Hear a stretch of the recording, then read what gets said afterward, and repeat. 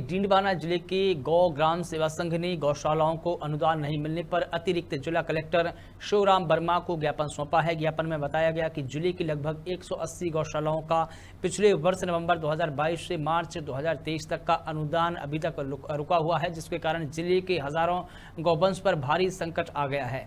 छह राजस्थान, जयपुर में गौशाला संचालकों के सम्मेलन में जब प्रदेश के मुख्यमंत्री से इस मामले पर चर्चा की गई तो उन्होंने अनुदान राशि का भुगतान बहत्तर घंटे में हो जाने का आश्वासन दिया था। उस आश्वासन को बहत्तर घंटे की बजाय एक घंटे बीत चुके हैं, कोई भुगतान नहीं किया गया है। गौ ग्राम सेवा संघ ने कहा कि अगले तीन दिन में गौशालाओं के अनुदान की राशि का अगर भुगतान नहीं किया गया तो गौवंश को बचाने के लिए हम अनिश्चितकालीन हड़ताल या धरना करेंगे।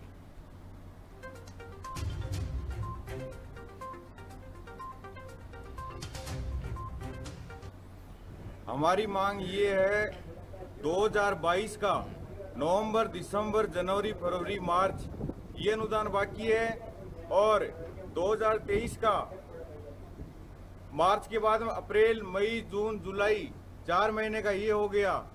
कुल मिलाकर के हमारी नागौर ज़िले की गौशाला जो डीडवाना क्षेत्र में आती है उनका एक साल से उच्चामन सात में है एक साल से गौशालाओं को एक रुपया नहीं मिला है। और जब यहाँ डीडोना गहलोत साहब आए थे, मुख्यमंत्री जी आए थे, तब उन्होंने उनको ज्ञापन दिया था। और अभी जो जयपुर के अंदर हम सबको छह तारीख को बुलाया गया था कि हम गौशाला वाले आएँगे, आओ और हम उनके लिए बड़ी घोषणाएँ करते हैं। लेकिन उन्होंने ये बोला कि बहत्तर घंटे के अंदर अनुदान आ जाएगा, आप निश्चिंत होके जाओ यहाँ से। बहत्तर घंटे के, एक सौ चौवालीस घंटे हो गए लेकिन कोई पैसा नहीं आया